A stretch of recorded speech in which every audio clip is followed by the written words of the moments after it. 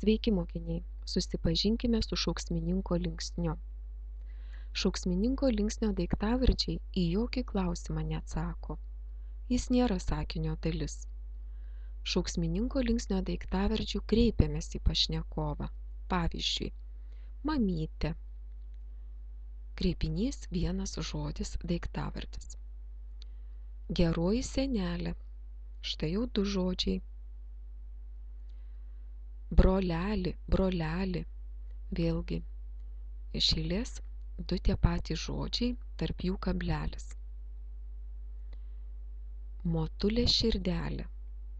Kablelio po pirmojo kreipinio nėra, tuomet pauzę skaitydami nedarome, skaitome motulė širdelė. Abu daiktavardžiai yra šūksmininko linksnio. Adomai, šūksnys. Kaip taisyklingai parašyti kreipinį šauksmininką? Jūs matote šauksmininko pavyzdžių. Justuk. Šis daiktavardis galūnės neturi. Pasibaigė priesaga uk. Visi kiti galūnės turi.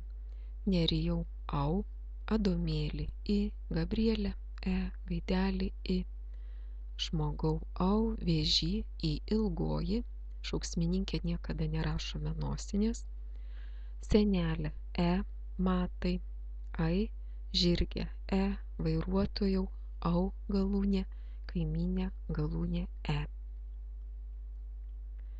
Atlikite užduotį.